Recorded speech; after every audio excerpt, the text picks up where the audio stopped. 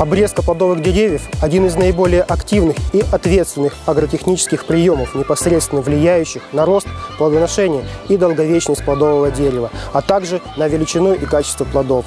Чтобы правильно произвести обрезку, необходимо определиться, по какой системе будет формироваться крона.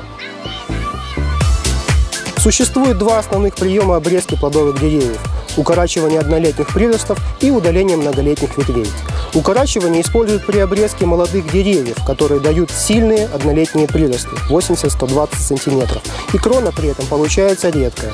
У плодоносящих деревьев чаще всего бывает загущение кроны, которую нужно прореживать. Удалять многолетнюю ветвь можно полностью или частично. Удаление части многолетней ветви способствует усилению роста рядом расположенных ветвей. Естественно, следует вырезать и все больные, засохшие, трущиеся одна другую ветки. Такая обрезка улучшает освещенность внутри кроны, способствует равномерному распределению плодов по кроне. Старые плодоносящие деревья подвергают омолаживающей обрезке. Чтобы снизить крону и улучшить ее освещенность, открывают центр. Избегайте нанесения близко прилегающих ран, так как они плохо зарастают. Крупные раны после обрезки замажьте садовым варом. Обрезка дает хороший результат только в комплексе с другими приемами агротехники. Внесение органических и минеральных удобрений, прополка, полив, борьба с вредителями и болезнями.